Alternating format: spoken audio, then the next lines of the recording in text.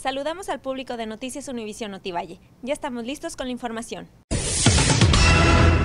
Autobús mata a un peatón. Un hombre de 63 años de edad murió ayer por la tarde al ser atropellado frente a la delegación estatal de la Procuraduría General de la República sobre Boulevard Lázaro Cárdenas. Testigos del incidente narraron que el señor identificado como Luis Pozo Campillo venía caminando y quiso bajar la banqueta, pero se tropezó y cayó frente al camión.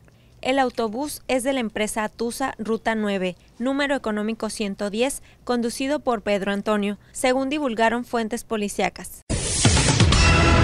Taxistas y transportistas se manifiestan en ayuntamiento. Una decisión en el gremio de taxistas y transportistas ocurrió ayer por la mañana, cuando integrantes de nuevas asociaciones civiles se aglutinaron en el ayuntamiento exigiendo hablar con el alcalde. Entre sus demandas emergieron las de ser tomados en cuenta en las decisiones que involucran a los transportistas, evitar el aumento al transporte y más permisos para placas de taxis. Rafael Morgan Álvarez, director del Sistema Municipal de Transporte, los recibió a las puertas del Palacio Municipal y acordaron plantear una fecha para realizar una audiencia con el alcalde Jaime Díaz Ochoa.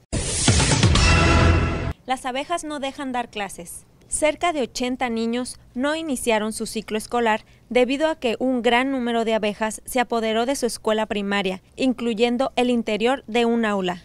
El plantel Ulises Irigoyen, ubicado en Pascualitos, se encuentra sin poder operar debido a una recomendación de protección civil. Personal de bomberos, protección civil y la Secretaría de Educación Estatal asistieron al plantel, pero no contaron con que el problema fuera tan grave. Esta fue la información de hoy. Yo soy Laura García. Muy buenas noches y nos vemos mañana.